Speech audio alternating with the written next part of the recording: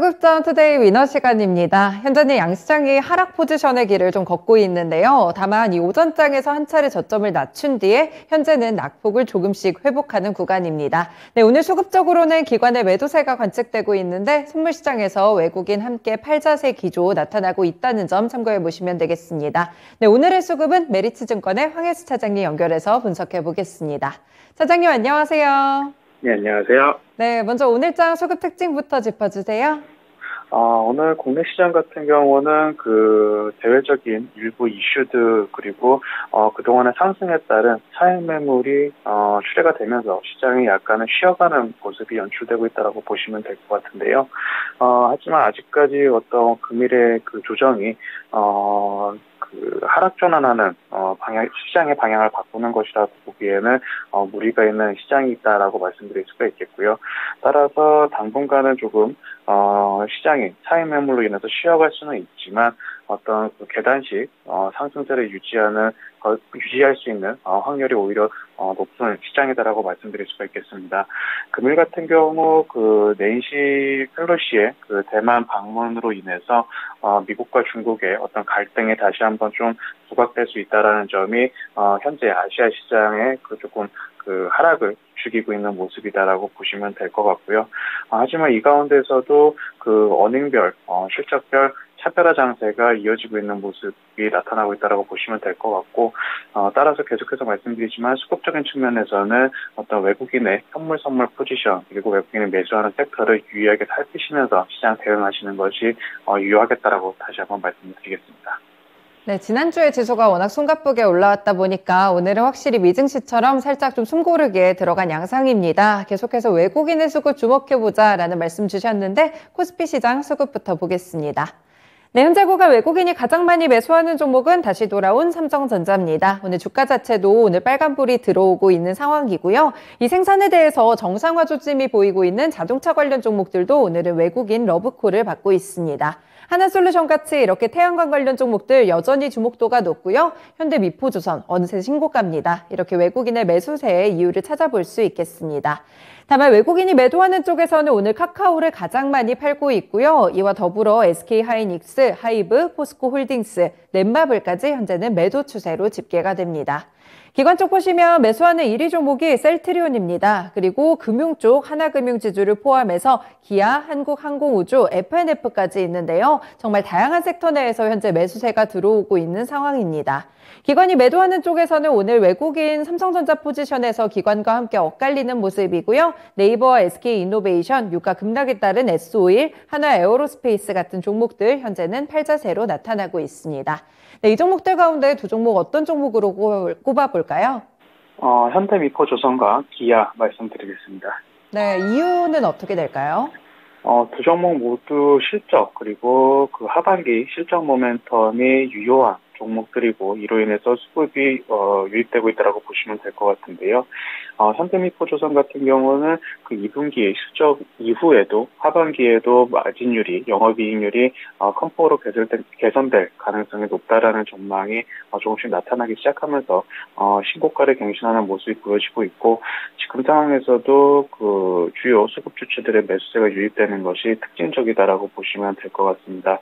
어, 그동안 조선업종 같은 경우 조선주가 같은 경우 어, 유가 굉장히 연동된 흐름이 나타나면서 일부 조선주는 유가 하락 과 함께 어, 주가 역시 하락하는 모습이 보여졌는데요. 현대미포 조선 같은 경우에는 어, 이후에도 꾸준하게 이익 성장이 가파르게 나타날 가능성이 높다라는 평가를 받으면서 어, 신고가를 경신하는 모습이 특징적이다라고 보시면 될 것 같습니다. 어, 기아 같은 경우도 2분기 실적 발표 이후 어, 실적 개선에 대한 눈높이가 높아지고 있는 상황에서 어, 하반기로 갈수록 이익 성장이 어, 가시화될, 그, 가시화될 것이라는 기대감에, 어, 주요 수급 주체들의 매수가 유입되고 있는 것이 특징적이다라고 말씀드릴 수 있겠습니다. 네, 역시나 earning season에는 실적이 탄탄한 종목들 위주로 주목도가 높아지고 있는데요. 두 종목들 가운데 오늘의 winner 종목과 자세한 모멘텀 더 설명해 주세요. 어, 기아를 말씀드리겠는데요. 어, 기아 같은 경우는 2분기 시장 consensus를 상회하는 호실적을 발표를 했습니다. 이에 따라서 하반기에 대한 기대도 높아지고 있는 상황인데요. 기아 같은 경우 재료비 부담은 3분기가 피크를 어, 맞을 것으로 전망이 되고 있고 또한 긍정적으로 3분기 원자재 가격 피크 이후에 어, 반도체 수급, 차량용 반도체 수급이 어, 개선될 것으로 전망이 되면서 이에 따라 기아의 이익률이 계속해서 높아질 가능성이 높다라는 점이 긍정적이다라고 말씀드릴 수가 있겠습니다. 어, 2분기 실적에서 나타났지만 이익률을 두 자리 그 10.2%의 어, 마진율을 달성하는 어, 모습을 보여줬는데요. 이렇게 두 자릿수 이익률이 올해 하반기에도 꾸준하게 나타날 가능성이 높다라는 점에서 어, 차량 그 완성 차 업체 중에서 이 개선세가 가장 돋보이는 종목이다라는 점이 긍정적이다라고 말씀드릴 수가 있겠습니다.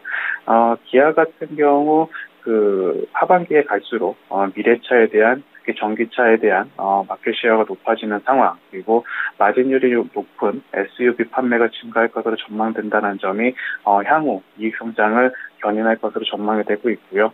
최근 들어 어떤 북미 쪽과 유럽 쪽에서도 어, 기아의 전기차의 그 마켓 시어가 빠르게 올라가고 있는 상황이기 때문에 중장기적으로 어, 긍정적인 모습을 보여주고 있는 업체다 이렇게 말씀을 드리겠습니다. 네, 확실히 업황도 개선되고 있는데 실적까지 상당히 좋을 것으로 보입니다. 기아 기대가 되는 종목입니다. 네, 다음으로 코스닥 시장 넘어가 보겠습니다. 현재 구간 외국인이 매수하는 종목 1위는 레인보우 로보틱스입니다. 네, 오늘 삼성전자의 무인공장 모멘텀과 더불어서 곳곳에 로봇 관련 종목들이 좀 포진돼 있고요. 한 가지 더 봐드리면 기관이 매수하는 섹터에서도 T 로보틱스 함께 관측이 되고 있습니다. 그 외에는 외국인 매수하는 쪽에서 폭력 관련 종목 3강 MNT, 비덴트, 어, 휴림 로봇도 오늘 로봇주로 함께 외국인 매수세에 유입되고 있고요. ST팜도 현재 외국인의 러브콜을 받습니다. 네, 다만 매도하는 쪽에서는 어제 살짝 상승세가 높게 나 나왔던 2차전지 소재 섹터 위주로 매도세 깊어지고 있고요. 동진 세미켐이라든지 휴마시스, 에코프로까지 함께 체크가 됩니다. 네, 기관이 매수하는 쪽에서는 대주전자재료를 포함해서 에코프로 HN, SFA, 주성 엔지니어링, 말씀드린 T 로보틱스까지 올라와 있는 모습 나타나고 있고요. 기관이 매도하는 쪽에서는 그동안 올랐던 종목들이 조금 많은 편입니다. 오늘 같은 경우에도 급등하고 있는 종목이나 상한가 치고 있는 이런 종목들 위주로 현재는 차익 매물 나타나고 있고요. 심텍과 이노, 이녹스 첨단 소재 같은 경우에는 실적에 대한 실망감 이런 부분들이 작용을 하고 있습니다. 루닛 아스프 블로 NK맥스까지 현재 매도세입니다. 네, 차장님 코스닥에서도 두 종목 골라주세요. 어, 코스닥에서는 대주전자재료와 ST팜 말씀드리겠습니다. 네, 두 가지 다른 섹터의 이런 성격을 가진 종목인데 이유는 어떻게 될까요? 어, 대주전자재료 같은 경우는 금일 외국계 그 증권사에서 어, 11만 원 정도의 목표가로 어, 레포트가 나타나게 되면서 수신이 개선이 되고 어떤 그 가격 매력도가 높다라는 긍정적인 평가 그리고 동서 영위하고 있는 응급제 시장의 그 확산성에 대해서 다시 레포트가 나타나면서 어, 강하게 매수세가 유입되고 있고 이에 따른 상승이 나타나고 있는 것이 특징적이다라고 말씀드릴 수가 있겠고요. 그동안 2차전지 소재 쪽은 특히 양극재를 중심으로 에코프로 그룹이라든지 LNF 어, LG화학 같은 그 양극재 소재들의 주가 상승이 돋보였다면 오늘 같은 경우는 그동안 양극재 업체들에 대해서는 일부 차익 시전이 나오는 반면 어, 저평가를 받고 있는 음극재 쪽에 어, 매수가 들어오고 있는 것이 특징적이다라고 보시면 될 것 같습니다.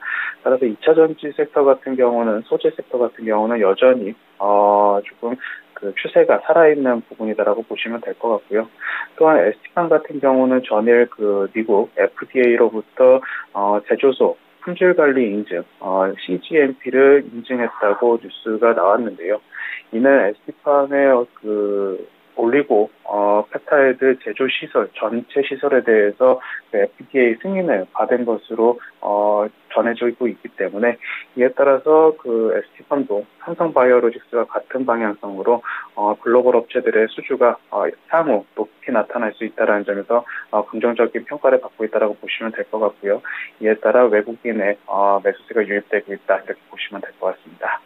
네, 두 종목 모두 오늘 빨간불 켜고 있는 종목들인데요. 두 종목들 가운데 오늘의 위너 종목 골라주세요. 어, 대주전자재료를 말씀을 드리겠는데요. 어, 우선 대주전자재료 같은 경우는 대표적인 응급제, 특히 어, 실리콘 산화물 SIOX라고 하는 실리콘 산화물을 어, 그 생산, 판매하는 업체입니다. 어, 양극재 시장과 더불어 음극재 시장이 이제 올해부터 조금씩 개화가 되고 내년부터 큰 폭으로 성장할 것으로 전망이 되고 있는데 이는 주요 어, 전기차 완성차 업체들의 가장 큰 그 화두 중의 하나인 주행 거리를 늘리기 위해서는 어, 대주전자 재료가 영위하고 있는 사업, 특히 음극재 쪽에 그 노출이 굉장히 필요한 상황이기 때문에 이에 따른 산업 성장성이 가파르게 나타날 것으로 전망이 되고 있고 어, 이에 그 가장 높은 기술력을 가지고 있는 대주전자재료 역시 동반해서 상, 성장할 수 있는 모멘텀의 가장 큰 업체다라고 말씀드릴 수가 있겠습니다. 아, 동사 같은 경우는 최근에 그 캐파 증설을 계속해서 단행을 하면서 이제 내년 3분기부터 본격적인 어떤 그 캐파 증설분이 가동될 것으로 전망이 되고 있는데요. 어, 최근에 배터리 수요가 계속해서 확대 되고 있고 이에 따른 응급 첨가 비중까지 늘어나, 늘어나게 되면서 어, 기존 캐파 이상의 어, 수주가 계속해서 나타날 것으로 전망되고 있다라고 말씀드릴 수가 있겠습니다. 어, 또한 동사 같은 경우는 그 전기차 소재 업체 중에 아, 가격 매력도가 높은 어, 상황이기 때문에 추가적인 상승도 고려해 볼 수 있는 종목이다 이렇게 말씀드리겠습니다. 네, 오늘은 음극재 쪽에 주목을 해주셨습니다. 오늘 말씀 잘 들었습니다, 차장님. 감사합니다. 네, 이렇게 오늘의 위너 종목은 기아 그리고 대주전자 재료였습니다. 지금까지 수급전 투데이 위너 시간이었습니다.